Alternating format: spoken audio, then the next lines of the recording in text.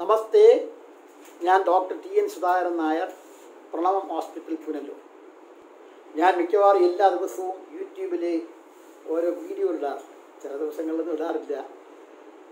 പേഷ്യൻസൊക്കെ ഇപ്പോൾ വളരെ കുറവാണ്. അതുകൊണ്ട് സമയമുണ്ട്. അതുകൊണ്ട് ചുമ്മാ ഇരുന്ന് ബോറടിക്കുമ്പോൾ നമ്മുടെ നോളജ് ഒന്ന് റിഫ്രഷ് ചെയ്യാൻ വേണ്ടി പുസ്തകങ്ങളൊക്കെ റെഫർ ചെയ്യുകയും അതിലെ ചില കാര്യങ്ങൾ പേഷ്യൻസിന് വേണ്ടിയും പൊതുജനങ്ങൾക്ക് വേണ്ടി പൊതുജനങ്ങളുടെ അവയർനെസ്സിന് വേണ്ടി ഞാൻ എന്റെ ഒരു സന്തോഷത്തിന് വേണ്ടി കിട്ടുന്നതാണ്. നിങ്ങൾ ആർക്കെങ്കിലും ഇത് ഇൻട്രസ്റ്റ് ഉണ്ടെങ്കിൽ ലൈക്ക് ചെയ്യുക ഷെയർ ചെയ്യുക സബ്സ്ക്രൈബ് ചെയ്യുക. മിക്കവാറും എല്ലാ ദിവസവും ഞാൻ നൂറ്റി എഴുപത്തി നാല് വീഡിയോസ് ഇതുവരെ ഇട്ടിട്ടുണ്ട്. മിക്കവാറുമുള്ള എല്ലാ ഹെൽത്ത് ടോപ്പിക്കും കവർ ചെയ്തിട്ടുണ്ട്. പിന്നെ ഞാൻ ഇടയ്ക്കിടയ്ക്ക് നോക്കുമ്പോൾ കവർ ചെയ്യാത്ത ചില ചില ടോപ്പിക്കുകൾ കിട്ടും. അങ്ങനെ ഇന്ന് കിട്ടിയ ഒരു ടോപ്പിക്കാണ് കുഷിങ് സിൻഡ്രോം നമ്മുടെ നാട്ടിൽ വളരെ കോമൺ ആണ് കുഷിങ് സിൻഡ്രോം അപ്പോൾ കുഷിങ് സിൻഡ്രോം എന്താണെന്നും അതെങ്ങനെയാണ് ഉണ്ടാവണമെന്നും അതിനെപ്പറ്റി ചെറിയ കാര്യങ്ങൾ പറയാനാണ് ഞാൻ ഉദ്ദേശിക്കുന്നത്. അതായത് ഈ കുഷിങ് ചിന്ത്രം പറയുന്നതിന് മുമ്പ് തന്നെ നമുക്കൊരു അല്പം അനാട്ടമിട്ടിക്കണം നമ്മുടെ ശരീരത്തിലുള്ള ഏറ്റവും പ്രധാനപ്പെട്ട ഒരു എൻഡോക്രൈൻ ഗ്ലാൻഡ് ആണ് അഡ്രീനൽ ഗ്ലാൻഡ്സ് അഡ്രീനൽ ഗ്ലാൻഡ് ഇല്ലാതെ ജീവിക്കാൻ പറ്റത്തില്ല. അത്ര പ്രയാ നമ്മൾ തൈറോയിഡ് ഗ്ലാൻഡ് പഠിച്ചിട്ടുണ്ട്. തൈറോയിഡ് ഗ്ലാൻഡ് ഒരു അഡ്രീ ഒരു എൻഡോക്രൈൻ ഗ്ലാൻഡാണ് ടെസ്റ്റിസ് ഒരു എൻഡോക്രൈൻ ഗ്ലാൻഡാണ് പാരാതൈറോയിഡ് എൻഡോക്രൈൻ ഗ്ലാൻഡാണ് പാങ്ക്രിയാസി എൻഡോക്രൈൻ ഫംഗ്ഷനുണ്ട് അങ്ങനെ ഏറ്റവും പ്രധാനപ്പെട്ട ഒരു എൻഡോക്രൈൻ ആണ് അഡ്രീനൽ ഗ്ലാൻഡ്സ് അത് രണ്ടെണ്ണം ഉണ്ട്. നമ്മുടെ കിഡ്നിയുടെ സൈഡിൽ കിഡ്നിയുടെ മുകളിലായിട്ടിരിക്കുന്ന ഭാഗമാണ്. അതായത് പെയ്ഡ് ആണ്. അത് അതിന്റെ വെയിറ്റ് എന്ന് പറയുന്നത് ഫോർ പോയിന്റ് സെവൻ ഗ്രാമാണ് ആവറേജ് വെയിറ്റ് അത് നമ്മളെ കിഡ്നി പോലെ ഒരു ഔട്ടർ കോർട്ടക്സും ഒരു ഇന്നർ മെഡുല്ലയും രണ്ടിനും രണ്ട് ഫങ്ഷനാണ് അപ്പം പിന്നീട് ഈ മെഡുല്ലായി എന്നാണ് അഡ്രിനാൽ എന്ന് പറയുന്ന മരുന്നും നോർ അഡ്രിനാൽ എന്ന് പറയുന്ന ഹോർമോൺ ഉണ്ടാക്കുന്നത് മെഡുല്ലയാണ്. അത് ന്യൂറോസ് നെർവസ് ടിഷ്യൂ പോലെയാണ് അത്. Neuro muscular neuro nervous tissue ആണ് അതിന്റെ ഡെവലപ്മെന്റ് എന്നാൽ അഡ്രീനൽ കോർട്ടക്സ് ആണ് മെയിൻ ആയിട്ടുള്ളത്. അഡ്രീനൽ കോർട്ടക്സിൽ പ്രധാനമായിട്ട് മൂന്ന് സോണുണ്ട് മൂന്ന് ഏരിയ ഉണ്ട്. ഒന്ന് സോണ ഗ്ലോമറുലോസ സോണ ഫെസിക്കുലേറ്റ ആൻഡ് സോണ റെറ്റിക്കുലാറ്റിസ് ഇങ്ങനെ മൂന്ന് ക്രിസ്റ്റോളജിക്കലായിട്ട് നമ്മൾ നോക്കിയാൽ നമുക്ക് മൂന്ന് ലെയർ ഐഡന്റിഫൈ ചെയ്യാൻ പറ്റും. അത് ഓരോ ലെയറിനും ഓരോ ഫംഗ്ഷനാണ് ഉദാഹരണത്തിന് സോണ ഗ്ലോമറുലസ് ഗ്ലോമറുലസ് നിന്നാണ് മിനറലോ കോർട്ടിക്കോയിഡ്സ് ഉണ്ടാകുന്നത്. മിനറലോ കോർട്ടിക്കോയിഡ് ആൽഡോസ്റ്റിറോൺ പോലത്തെ സോണ ഫെസിക്കുലേറ്റ് എന്നാണ് ഗ്ലൂക്കോ കോർട്ടിക്കോയിഡ്സ് ഗ്ലൂക്കോ കോർട്ടിക്കോയിഡ്സ് എന്ന് പറയുന്നത് നമ്മളെ കോർട്ടിസോൺ കോർട്ടിസോൺ ഹൈഡ്രോ കോർട്ടിസോൺ എന്നൊക്കെ പറയുന്ന സ്റ്റീറോയിഡ്സ് സോണ റെറ്റിക്കുലാരീസിൽ ഉണ്ടാകുന്നത് സെക്സ് ഹോർമോണാണ് ആൻഡ്രജനും ഉണ്ടാവും ഈസ്ട്രജനും ഉണ്ടാവും.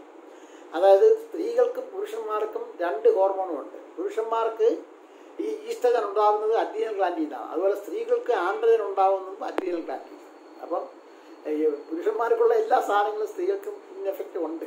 അതാണ് തെളിവാണ് അപ്പം ഞാൻ പറഞ്ഞു അപ്പം അഡ്രീനോ കോർട്ടിക്കൽ അഡ്രീനലിന്റെ കോർട്ടിക്കലിൽ ഉണ്ടാകുന്ന മൂന്ന് തരം ഹോർമോൺസ് ആണ് mineralocorticoids glucocorticoids and sex hormone എന്നാൽ നമ്മൾ നേരത്തെ ഒരു വീഡിയോയിൽ ഞാൻ പറഞ്ഞിട്ടുണ്ട് എല്ലാ എൻഡോക്രൈൻ ഗ്ലാൻഡ്സിനെ നിയന്ത്രിക്കുന്ന ഒരു മാസ്റ്റർ ഗ്ലാൻഡ് ഉണ്ട്. അതാണ് പിറ്റ്യൂട്ടറി ഗ്ലാൻഡ് അത് തലച്ചോറിലാണ്. അപ്പോൾ പിറ്റ്യൂട്ടറി ഗ്ലാൻഡ് സെക്രീറ്റ് ചെയ്യുന്ന ഒരു ഹോർമോണാണ് A C T H adrenocorticotroph hormone. എങ്ങനെയെന്ന് പറഞ്ഞാൽ തൈറോയിഡിനെ സ്റ്റിമുലേറ്റ് ചെയ്യാൻ ഒരു thyroid stimulating hormone T S H അതുപോലെ അഡ്രീനൽ ഗ്ലാൻഡിനെ നിയന്ത്രിക്കുന്ന ഹോർമോണാണ് എ സി ടി ഈ എ സി ടി എച്ച് ഉത്പാദിപ്പിക്കുന്നത് പിറ്റ്യൂട്ടറി ഗ്ലാൻഡാണ് നമ്മുടെ ശരീരത്തിൽ കോർട്ടിക്കോസ്റ്റീറോയിഡ്സിന്റെ അളവ് കുറയുമ്പോൾ A C T H production കൂടും. ഈ അതിന്റെ അളവ് കുറ കൂടുമ്പോൾ എ സി ടി എച്ചിന്റെ പ്രൊഡക്ഷൻ കുറയും. ഒരു ഫീഡ്ബാക്ക് മെക്കാനിസം അതായത് കൺട്രോൾ അപ്പോൾ അങ്ങനെ വരുമ്പോൾ ഈ രണ്ട് പ്രശ്നം കൊണ്ടും ഉള്ള അസുഖമാണ് ഈ കുഷിങ് സിൻഡ്രോം കുഷിങ് സിൻഡ്രോം എന്ന് പറഞ്ഞാൽ നമ്മുടെ adrenocortical hormones adrenal cortical adrenal adrenal ഗ്ലാൻഡിലുള്ള glucocorticoid ഹോർമോൺസിന്റെ എക്സസ് കൂടുതൽ ബ്ലഡിൽ ഉണ്ടാവുമ്പോഴാണ് കുഷിൻ സിൻഡ്രോം എന്നാൽ എ സി ടി എച്ചിന്റെ പ്രൊഡക്ഷൻ കൂടിയാലും ഈ സ്റ്റീറോയിഡിന്റെ പ്രൊഡക്ഷൻ കൂടും. അങ്ങനെ പിറ്റ്യൂട്ടറിക്കകത്ത് എന്തെങ്കിലും പ്രശ്നമുണ്ട്. അപ്പോൾ പിറ്റ്യൂട്ടറി കൂടുതൽ എ സി ടി എച്ചിനെ സെപ്പറേറ്റ് ചെയ്യുകയും അതിന്റെ തത്ഫലമായി ഈ അഡ്രീനൽ ഗ്ലാൻഡിനെ സ്റ്റിമുലേറ്റ് ചെയ്ത് അഡ്രീനൽ ഗ്ലാൻഡിനെ സ്റ്റിമുലേറ്റ് ചെയ്ത് കൂടുതൽ അഡ്രീനൽ ഹോർമോൺസ് ഉണ്ടായി ഉണ്ടാകുന്നതിനെ കുഷിങ്സ് ഡിസീസ് എന്ന് പറയും. അപ്പം കുഷിങ് സിൻഡ്രോം എന്ന് പറഞ്ഞാൽ അഡ്രിയൽ ഗ്ലാൻഡിന്റെ പ്രശ്നവും കുഷിങ്സ് ഡിസീസ് എന്ന് പറയുന്നത് പിറ്റ്യൂട്ടറി ഗ്ലാൻഡിന്റെ പ്രശ്നവുമാണ്. ഇനി നമുക്ക് അതിനെപ്പറ്റി ഇത്രയാണ് എനിക്ക് അതിനെപ്പറ്റി അനാട്ടമിയായി അത് ഫിസിയോളജി പറയാനുള്ളത്. അപ്പോൾ ഇനി നമുക്ക് എന്തോ അല്ലെങ്കിൽ ഞാൻ ഈ പറയുന്നത് മനസ്സിലാവുന്നില്ല. അപ്പോൾ excessive activation of glucocorticoids receptors prolonged use of glucocorticoids കൊണ്ടും വരാം. ഇപ്പോൾ ഉദാഹരണത്തിന് ആസ്മയുള്ള ആളാണ്. അല്ലെങ്കിൽ റൂമറ്റോയിഡ് ആർത്രൈറ്റിസുള്ള ആളുടെ സ്റ്റിറോയിഡ് ഗുളിക കഴിക്കും പ്രട്നിസോൺ ഗുളിക അല്ലെങ്കിൽ ഈ മീതയിൽ പ്രട്ടിസറോൺ അതിന്റെ ഡെറിവേറ്റീവ്സ് അല്ലെങ്കിൽ ടെക്സോൺ അങ്ങനെയുള്ള സ്റ്റിറോയിഡ് ഗുളികകൾ സ്ഥിരമായി കഴിച്ചുകൊണ്ടിരുന്നാൽ അത് കുഷിൻ സിൻഡ്രത്തിന് കാരണമാണ് അപ്പം നമ്മുടെ നാട്ടിൽ ഏറ്റവും കൂടുതൽ ആളുകൾക്ക് കുഷിൻ സിൻഡ്രം വരാത്തതിന്റെ കാരണം പ്രൊലോങ്ഡ് യൂസ് ഓഫ് ഗ്ലൂക്കോകോർട്ടിക്കോയിഡ്സ് ആണ്. അപ്പോൾ excessive activation of A C T H ഗ്ലൂക്കോകോർട്ടിക്കോയിഡിന്റെ ആ റിസപ്റ്റേഴ്സിനെ ആക്ടിവേറ്റ് ചെയ്യുന്ന പിറ്റ്യൂട്ടറി ഹോർമോണായ എ സി ടി എച്ചിന്റെ ഓവർ പ്രൊഡക്ഷൻ കൊണ്ടും അതല്ലാതെ ഈ പ്രൊലോങ്ഡ് യൂസ് ഓഫ് ഗ്ലൂക്കോകോർട്ടിക്കോയിഡ്സ് കൊണ്ടും അഡ്രീനൽ ഗാൻഡിനകത്ത് എന്തെങ്കിലും ട്യൂമറോ ക്യാൻസറോ എല്ലാം ഉണ്ടായി എക്സസ് പ്രൊഡക്ഷൻ ഉണ്ടാവുകയും പിന്നെ വേറെയും ഒരു കാരണമുണ്ട് എക്ടോപ്പിക് ആയിട്ട് വരാം. അതായത് പല ക്യാൻസർ ഉദാഹരണം lung cancer medullary കാഴ്ചനമാവത്ത് thyroid pancreatic cancer ovarian cancer അങ്ങനെയൊക്കെയുള്ള പല ക്യാൻസർ സെൽസും ഈ എ സി ടി ഈ എ സി ടി എച്ച് പോലത്തെ പദാർത്ഥം ഉണ്ടാക്കുകയും ഹോർമോൺ ഉൽപ്പാദിപ്പിക്കുകയും അതിന്റെ തത്ഫലമായി ഈ അഡ്രിയൽ ഗ്ലാൻഡിനെ സ്റ്റിമുലേറ്റ് ചെയ്ത് കുഷിൻ സെന്റർ ഉണ്ടാവാൻ സാധ്യതയുണ്ട്. അപ്പോൾ നമുക്ക് അതിന്റെ കാരണങ്ങളിലോട്ട് കിടക്കാം. ഞാനിപ്പോൾ ജനറലായിട്ടാണ് പറഞ്ഞത്. അതിന്റെ കാരണങ്ങൾ കുഷിൻ ചിത്രത്തിന്റെ കാരണങ്ങളെന്ന് പറഞ്ഞാൽ നമുക്ക് പ്രധാനമായിട്ട് മൂന്നാലായിട്ട് തിരിക്കാം ഒന്ന്. ഒന്ന് A C T H dependent A C T H dependent ഉദാഹരണം ബൈലാറ്ററൽ ഇത്. A C T H dependent ഉണ്ട്. എ സി അല്ല A C A C T H dependent ഉണ്ട്. A C T H independent ഉണ്ട്. എ സി ടി എച്ചിന്റെ control ഉണ്ട്. A C T എച്ചിന്റെ കുഴപ്പങ്ങൾ ഉണ്ടാവുന്നതിന് ആ A C T H dependent example bilateral arterial hyperplasia അത് എ സി ടി എച്ചിന്റെ പ്രൊഡക്ഷൻ കൂടുതലാണ് separation by paraneoplastic cells paraneoplastic cells എന്ന് പറഞ്ഞാൽ calcium bronchogenic കാൽസ്യരോമ thyroid medullary calcium thyroid pancreatic cancer ovarian cancer യൂറോബ്ലാസ്റ്റോ അങ്ങനെ ഒരുപാട് തരത്തിലുള്ള ക്യാൻസർ സെൽസ് ഈ A C T H പോലത്തെ പ്രോഡക്ട്സ് പ്രൊഡ്യൂസ് ചെയ്യുകയും അതിന്റെ ഫലമായിട്ട് ഈ കുഷിംഗ് സെന്റർ ഉണ്ടാവുകയും. പിന്നെ A C T H independent A C T എച്ചുമായിട്ട് യാതൊരു ബന്ധവുമില്ല. കുഴപ്പം താഴെ അഡ്രീനൽ ഗ്ലാൻഡിൽ തന്നെയാണ്. ഉദാഹരണം അഡിനോമാവത്തി അഡ്രി അഡ്രിയൽ ഗ്ലാൻഡിൽ നിന്ന് വരുന്ന ഒരു ട്യൂമർ. അല്ലെങ്കിൽ കാർസിനോമ ഒരു ക്യാൻസർ അഡ്രിയൽ ഗ്ലാൻഡ് പിന്നുള്ളത് ഇയാട്രോജനിക് ഇയാട്രോജനിക് എന്ന് പറഞ്ഞാൽ അതിന്റെ അർത്ഥം നമ്മൾ മരുന്നുകൾ നമ്മൾ മറ്റൊരു രോഗത്തിന് കൊടുക്കുന്ന മരുന്നുകളുടെ പാർശ്വഫലമായി ഉണ്ടാകുന്ന അസുഖങ്ങളെയാണ് ഇയാട്രോജനിക് എന്ന് പറയുന്നത്. ഉദാഹരണം ബ്രോങ്കിയൽ ആസ്മയ്ക്കോ റൂമറ്റോയിഡ് ആർത്രൈറ്റിസിനോ അല്ലെങ്കിൽ അലർജിക്കോ കഴിക്കുന്ന സ്ഥിരമായി കഴിക്കുന്ന പലപ്പോഴും ഡോക്ടറുടെ പ്രിസ്ക്രിപ്ഷൻ ഇല്ലാതെ തന്നെ കഴിക്കും. ചിലർ ഡോക്ടറുടെ പ്രിസ്ക്രിപ്ഷനോട് കൂടി കഴിക്കും. അങ്ങനെ അമിതമായി ഗ്ലൂക്കോസ് സ്റ്റീറോയിഡ്സിന്റെ ഉപയോഗം കൊണ്ട് ലോങ് ടേം ഗ്ലൂക്കോസ് വരാം. അപ്പം നമുക്ക് കോസസ് അപ്പം എന്തോ ചുരുക്കി പറഞ്ഞാൽ കോസസ് ഓഫ് കുഷിൻ സിൻഡ്രോം ഒന്ന് പിറ്റ്യൂട്ടറി ഗ്ലാൻഡിന്റെ പ്രശ്നം രണ്ട് അഡീനൽ ഗ്ലാൻഡിന്റെ പ്രശ്നം മൂന്ന് എറ്റോപ്പിക്കിന്റെ പ്രശ്നം. എറ്റോപ്പിക് എന്ന് വെച്ചാൽ ഈ പാരാനിയോപ്ലാസ്റ്റിക് സെൽസ് നാല് ഇയാട്രോജനിക് ഈ നാല് കാരണങ്ങളുമാണ് കുഷിൻ സിൻഡ്രോം ഈ എന്താണ് കുഷിൻ സിൻഡ്രത്തിലെ പേഷ്യന്റിനെ കട്ട എങ്ങനെ ഇരിക്കുമെന്ന് നോക്കാം. അപ്പം നമ്മൾ പലരും പലരെയും കണ്ടിട്ടുണ്ടായിരിക്കും അവർക്കെല്ലാം സിൻഡ്രം ഉണ്ടെന്ന് ഞാൻ ഈ സിംറ്റംസ് പറയുമ്പോൾ നിങ്ങൾക്ക് മനസ്സിലാവും. ഒന്ന് അതിന്റെ കുഴപ്പമെന്ന് പറഞ്ഞാൽ excessive production of glucocorticoids അതാണ് അതിന്റെ ഫണ്ടമെന്റൽ പ്രശ്നം. ഗ്ലൂക്കോ കോർട്ടിക്കോയിഡ്സ് എന്ന് പറഞ്ഞാൽ നമുക്കറിയാം കോർട്ടിസോൾ ഹൈഡ്രോ കോർട്ടിസോൾ സ്റ്റീറോയിഡ്സ് എന്ന് പറയുന്ന ഹോർമോൺസ് അപ്പോൾ എന്തോ വരും? ഗ്ലൂക്കോനിയോജനിസ് വരും. അതായത് അമിതമായി ബ്ലഡ് ഷുഗർ കൂടും. നമ്മുടെ ലിവറിന്റെ ജോലിയാണ് ലിവറിൽ സ്റ്റോർ ചെയ്തിരിക്കുന്ന ഫാറ്റിനെ അതായത് ഗ്ലൈക്കജനെ കൺവെർട്ട് ചെയ്ത് ഗ്ലൂക്കോസ് ആക്കുന്നതാണ് ഗ്ലൂക്കോ എന്ന് സിസ്റ്റം.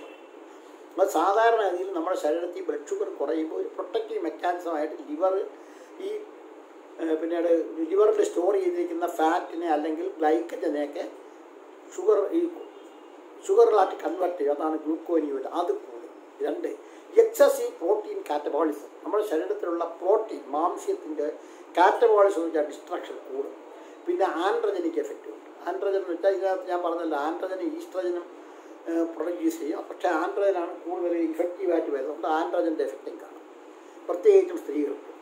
അപ്പം ജനറലായിട്ട് നോക്കിയാൽ ഈ മുഖം അങ്ങ് വലുതായി വട്ടത്തി മൂണി ഫേസ് അങ്ങ് ചന്ദ്രനെ ചന്ദ്രനെ പോലെ നിൻ മുഖം വട്ടത്തിലുള്ള വലിയ മുഖമായി അത് കവളൊക്കെ കവളൊക്കെ അങ്ങനെ ഊതി നീര് പോലെ പഫീനസ് അതാണ് മൂണി ഫേസ് പിന്നെ ഒബീസിറ്റി അമിതമായി വണ്ണം. അമിതമായിട്ട് വണ്ണം എന്ന് പറഞ്ഞാൽ മസ്കുലാർ അല്ല അങ്ങ് ഫാറ്റ് അടിഞ്ഞു കൂടും. എവിടെയൊക്കെയാണ് ഫാറ്റ് അടിഞ്ഞു കൂടുന്നത്? ഒന്ന് കഴുത്തിൽ. രണ്ട് ഷോൾഡർ മൂന്ന് നമ്മളെ വയറിൽ കുടവണ്ടി ഭയങ്കരമായിട്ട് വരും. പിന്നെ ഹിപ്പ് ബാക്കിൽ മാത്രമല്ല ഈ കഴുത്തിലൊക്കെ ഉള്ള മുഴയെന്ന് പറഞ്ഞാൽ അതിൽ ഈ കാളയുടെയും പശുവിന്റെയൊക്കെ ഹമ്പ് പോലെ മുഴച്ചിരിക്കും അത് കാണുമ്പോൾ തന്നെ നമുക്കറിയാം അവർക്ക് കുഷിൻ സിൻഡ്രോം ഉണ്ട്. ബഫല്ലോ ഹമ്പെന്നാണ് പറയുന്നത്. പിന്നെ അവ അമിതമായി വണ്ണം. ഫാറ്റ് ഡെപ്പോസിറ്റ് അമിതമായി കൊഴുപ്പ് അടിഞ്ഞു കൂടുന്ന ചില പ്രത്യേക ഭാഗം നമ്മുടെ ഷോൾഡറിൽ വയറിൽ ഈ ബട്ടക്സിൽ ആ ഭാഗങ്ങളിലൊക്കെ ഭയങ്കരമായിട്ട് ഫാറ്റ് ഡെപ്പോസിറ്റ് സ്കിന്നിൽ ചില ചേഞ്ചസ് ഉണ്ട്. അതിലൊന്ന് ഹെയർ സ്ത്രീകൾക്കൊക്കെ ആണെങ്കിൽ ഈ മുഖത്തെല്ലാം മീശ പോലെ വളരും. ഇവിടെ മുഖത്ത് വരും. ചെസ്റ്റിൽ നെഞ്ചിലൊക്കെ പിന്നീട് മുടികൾ രോമങ്ങൾ വളരും. അത് വളരെ വൃത്തികേടും അവർക്ക് ഭയങ്കര ബുദ്ധിമുട്ടുമായിരിക്കും പിന്നീട് സ്ത്രീകൾക്കാണെങ്കിൽ ആർത്തവ വിരാമം കാര്യം ആൻഡ്രജന്റെ എഫക്റ്റ് കൊണ്ട് ആർത്ത ആർത്തവ വിരാമം ഉണ്ടാവും അതുപോലെ തലമുടി കൊഴിഞ്ഞ് ബാൾഡിനെസ് പുരുഷന്മാർക്കാണെങ്കിൽ കൂടുതൽ കഷണ്ടി വരും ആ സ്ത്രീകൾക്കും കഷണ്ടി പോലെ അതുപോലെ ഈ ഗർഭിണികളൊക്കെ പ്രസവം കഴിഞ്ഞ് വയറിൽ ഇങ്ങനെ സ്ട്രയേ വന്നിട്ടുണ്ട് അതൊക്കെ പലരും കണ്ടിട്ടുണ്ടായിരിക്കും. സ്ത്രീകളുടെ വയറിൽ ഇങ്ങനെ ഈ പ്രസവം കഴിഞ്ഞ സ്ത്രീകളുടെ വയറിൽ ഇങ്ങനെ സ്ട്രയേ ഗ്രാവിഡോ അത് സ്ട്രയേ എന്ന് പറഞ്ഞാൽ സബ്ക്യൂട്ടേനിയസ് കൊളാജിൻ ടിഷ്യൂ റപ്ചർ ചെയ്യുമ്പോൾ ഇങ്ങനെ വര വരയായിട്ട് കിടക്കും. അതാണ് സ്ട്രയ എന്ന് പറഞ്ഞാൽ അത് ഇഷ്ടം പോലെ കാണാം. അത് ഈ ഷോൾഡറിൽ അതായത് ഈ സ്കിൻ സ്ട്രെച്ച് ചെയ്യുമ്പോൾ ആ സബ്ക്യൂട്ടേനിയസ് റപ്ചർ ചെയ്താണ് സ്ട്രയ ഉണ്ടാവുന്നത്. പിന്നെ മൂണ്ട് മുറിവല്ലോ വന്നാൽ അത് ഹീൽ ചെയ്യാൻ ഭയങ്കര താമസമായിരിക്കും മൂണ്ട് ഹീൽ പിന്നെ ശരീരത്തിലേക്ക് ഇങ്ങൊക്കെ ബ്രൂയിസിങ് ചതവ് പിന്നെ പർപ്യൂറ പർപ്യൂറ എന്ന് വെച്ചാൽ ബ്ലഡിന്റെ ലീക്കേജ് സ്പോട്സ് വരും. അങ്ങനെയൊക്കെയുള്ള പ്രശ്നങ്ങൾ. ഇതാണ് ജനറലായിട്ടുള്ളത് പിന്നെ അതർ ഇഫക്ട്സ് ബി പി കൂടുതലായിരിക്കും ഹൈപ്പർ ടെൻഷൻ മസിൽസ് എല്ലാം അങ്ങ് വളരെ ഫ്ലാബി ആയിരിക്കും. അതിന്റെ മസിൽസ് വീക്ക്നെസ് ആയിരിക്കും. മസിൽസ് എല്ലാം അട്രോഫി അടിച്ചിട്ട് പിന്നെ ചില പേഷ്യൻസിന് സൈക്യാട്രിക് സിംറ്റംസ് ആണ്. ഡിപ്രഷൻ അല്ലെങ്കിൽ മെലങ്കോളിയ എന്നൊക്കെ പറയുന്ന സൈക്യാട്രിക് പ്രോബ്ലം കാണും പിന്നെ അവിനൂറിയ ഞാൻ പറഞ്ഞു ഇൻഫെർട്ടിലിറ്റി അതായത് പ്രസവം നടക്കത്തില്ല അല്ലെങ്കിൽ ഗർഭധാരണം നടക്കത്തില്ല. പുരുഷന്മാർക്കാണെങ്കിൽ ലോസ് ഓഫ് ലിബിഡോ എന്നിട്ട് ആ സെക്ഷുവൽ അർജി നഷ്ടപ്പെടുകയും ഇമ്പോർട്ടൻസ് ഇമ്പോർട്ടൻസ് എന്ന് വെച്ചാൽ അവർക്ക് ലൈംഗികമായി ബന്ധപ്പെടാൻ പറ്റാത്ത ഇറക്ടൈൽ ഡിസ്ഫങ്ഷൻ അവർക്ക് ഇറക്ഷൻ കിട്ടത്തില്ല. പിന്നെ അവരുടെ എല്ലിലൊക്കെ ഓസ്റ്റിയോക്രോസിസ് വരും. അപ്പോൾ ഇടയ്ക്കിടയ്ക്ക് ഫ്രാക്ചറൊക്കെ വരും. ഇതൊക്കെയാണ് ലക്ഷണം. അപ്പം പ്രധാനമായിട്ടുള്ള പ്രശ്നം എന്ന് പറഞ്ഞാൽ പ്രധാനമായിട്ടുള്ള പ്രശ്നങ്ങൾ നമ്മൾ ഒന്ന് പ്രഷർ കൂടും. ഡയബറ്റീസ് വരുന്നവർക്ക് പിന്നീട് ഡയബറ്റീസ് ഉണ്ട് പ്രഷർ കൂടും അമിതമായി കൊഴുപ്പഞ്ച് കൂടും. പിന്നെ അത് ട്രങ്കൽ ഒബീസിറ്റിയാണ് കൂടുതൽ. ട്രങ്കൽ പിന്നെ കുടവണ്ടി നമ്മൾ പറയുന്നതല്ല. അതായത് വയറിനകത്ത്. പിന്നെ മൂണി ആണ് ഞാൻ പറഞ്ഞു. പിന്നെ ഹൈപ്പർ ടെൻഷൻ കാണും. പ്രോട്ടീൻ ഡെപ്ലീഷൻ കാണും ഓസ്റ്റിയോപ്രോസിസ് കാണും പിന്നെ ഗ്ലൂക്കോസ് ഇൻടോളറൻസ് അതായത് ഡയബറ്റീസിന്റെ ലക്ഷണം പിന്നെ പർപ്പിൾ സ്ട്രയെ കാണും പിന്നെ മസിൽ വേസ്റ്റിംഗ് കാണും വീക്ക്നെസ് കാണും. അതൊക്കെ അങ്ങനെയുള്ള ഒരുപാട് സിംറ്റംസ് കാണും. ഇതൊക്കെയാണ് ഇതിന്റെ ലക്ഷണങ്ങൾ. ലാബ് നമ്മൾ ടെസ്റ്റ് ചെയ്ത് നോക്കിയാൽ അവരെ ബ്ലഡ് നോക്കുമ്പോൾ ഷുഗർ കൂടുതലായിരിക്കും. അവർക്ക് ഏറ്റവും പ്രശ്നം ഹൈപ്പോക്കേരീമിയാണ് പൊട്ടാഷ്യത്തിന്റെ അളവ് വളരെ കുറയുകയും സോഡിയത്തിന്റെ അളവ് കൂടുകയും ചെയ്യും. അപ്പോൾ ശരീരത്തിൽ ഈ ഫാറ്റ് അടിഞ്ഞു കൂടുന്നതോടൊപ്പം നീരും കാണും. പിന്നെ നമ്മൾക്ക് വേണമെങ്കിൽ estimation of cortisol in the adrenal vein നോക്കാം.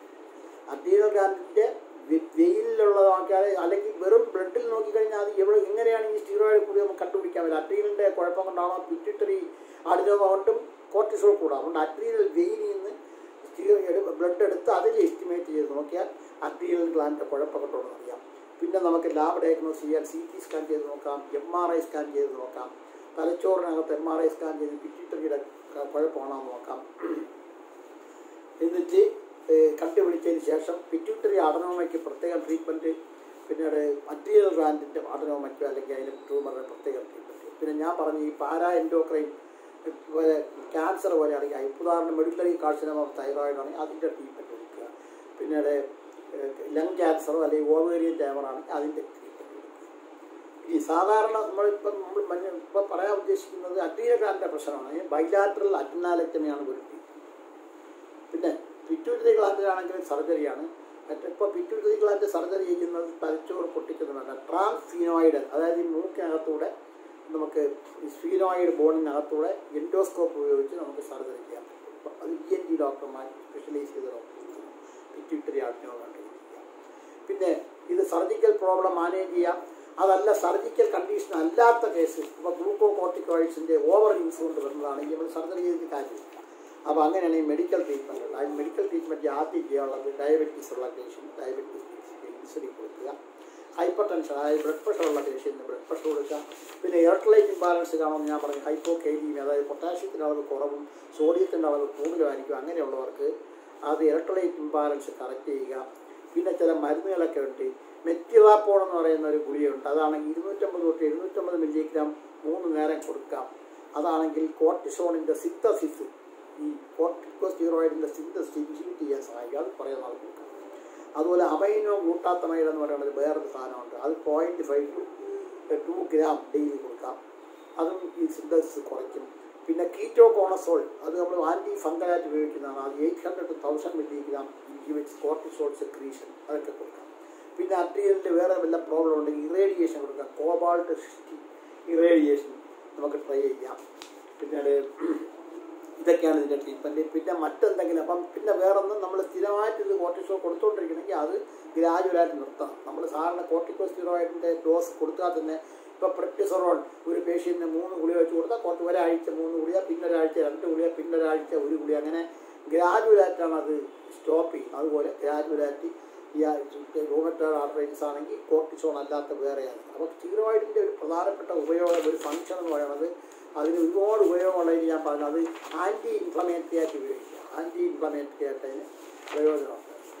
ആന്റി ഇൻഫ്ലമേറ്ററി ആണ്.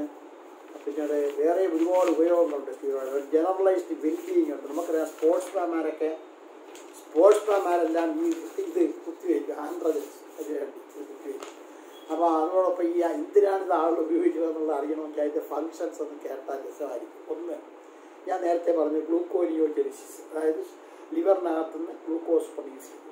രണ്ട് protein catabolism suppression of A C T H അതായത് pituitary ഗ്ലാൻഡാണ് A C T H produce ചെയ്യുന്നത്. ഗ്ലൂക്കോ ഗ്ലൂക്കോകോർട്ടിക്കോയിഡ്സ് ഒരുപാടുണ്ടാകും അത് എ സി ടി എച്ചിനെ പ്രൊഡക്ഷനെ പ്രിവെന്റ് ചെയ്യും. പിന്നെ ആന്റി ഇൻഫ്ലമേറ്ററിയാണ് അതായത് നമ്മൾ സ്റ്റിറോയിഡ് അതുകൊണ്ടാണ് ഈ ആസ്മയ്ക്ക് ഏറ്റവും നല്ലത്. ആസ്മയ്ക്കകത്ത് ഈ മാസ്റ്റ് സെൽസിനകത്തും ഈ ചെറിയ ട്രക്യൂ ബ്രോങ്ക്യോൾസൊക്കെ ഇൻഫ്ലമേഷൻ വരികയും അങ്ങനെ സെക്രീഷൻസ് ഒന്ന് അടിഞ്ഞ് ഒബ്സ്ട്രക്ഷൻ ഉണ്ടാവുകയും ചെയ്യുന്നതുകൊണ്ടാണ് ആസ്മ വരുന്നത്. അത് പ്രിവെന്റ് ചെയ്യാൻ വളരെ നല്ലതാണ് പിന്നീട് ആന്റി അലർജിക്കാണ് ഇപ്പോൾ ഒരു പേഷ്യന്റിന് എന്തെങ്കിലും കടന്നൽ കുത്തി അല്ലെങ്കിൽ ഒന്ന് ഭയങ്കര നീരും അനാബാലാക്സ് പോലെ വന്നാൽ നമ്മൾ ഉടൻ തന്നെ ഈ കോർട്ടിക്കോസ് ഹൈഡ്രോകോർട്ടിസോണാണ് കൊടുക്കുന്നത്. അത് ജീവൻ രക്ഷാ മരുന്നായിട്ട് ഉപയോഗിക്കാം. പിന്നെ ഇമ്മ്യൂണോ സപ്രസന്റ് അതായത് നമ്മൾ വല്ല റിയാക്ഷനൊക്കെ വന്ന അല്ലെങ്കിൽ വേറെ ആന്റിജൻ ആന്റിബോഡി റിയാക്ഷൻ വരുന്ന കണ്ടീഷൻ ഉണ്ട് ട്രാൻസ്പ്ലാന്റേഷൻ ഒക്കെ ഉണ്ട് അപ്പോൾ നമ്മളിത് കൊടുത്താൽ ആ ഇമ്മ്യൂണോളജി മെക്കാനിസം സപ്രസ് ചെയ്യും. പിന്നെ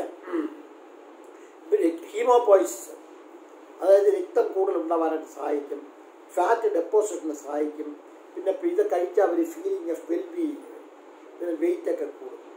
അങ്ങനെ ഒരുപാട് ഫങ്ഷൻസ് ഉണ്ട്. അപ്പോൾ അത് ആളുകൾ ദുരുപയോഗം ചെയ്യാൻ സാധ്യത എല്ലാത്തിനും ചെറിയൊരു ശ്വാസമൊക്കെ വന്നാലും പോയി സ്ഥിരമായിട്ട് ഗുളിക വാങ്ങിച്ചു കഴിക്കും.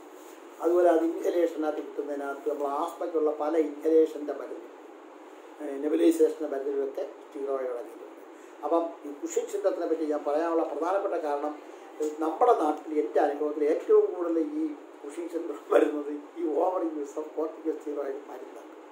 രണ്ടാമതേ ഉള്ളൂ അഡ്രിയൽ ഗ്ലാൻഡിന്റെ പ്രശ്നവും മൂന്നാമതാണ് പിറ്റിറ്ററിയുടെ പ്രശ്നമൊക്കെ വരുന്നത് അതിന് അടനോമയോ ക്യാൻസറോ അങ്ങനെയൊക്കെ ഉള്ളതാണെങ്കിൽ സർജറിയാണ് അല്ലെങ്കിൽ മെഡിക്കൽ ട്രീറ്റ്മെന്റ് ആണ് ഓവർ യൂസ് ഓഫ് ഡ്രഗ്സ് ആണെങ്കിൽ അത് ഗ്രാജുവലായിട്ട് കുറയ്ക്കുക.